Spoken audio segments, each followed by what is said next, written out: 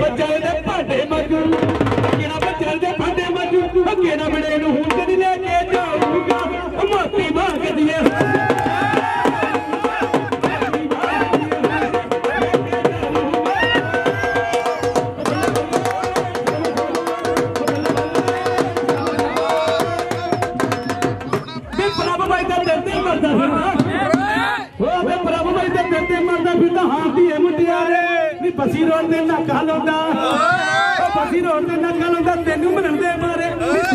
ਦੀ ਭੁੱਲ ਕੇ ਰੇ ਓਏ ਹੁਸਨ ਦੀ ਸਰਕਾਰ ਦੀ ਆਸ ਕਿਤੇ ਹਾਂ ਆ ਕਰਦੇ ਮੁੰਡੇ ਅਤੇ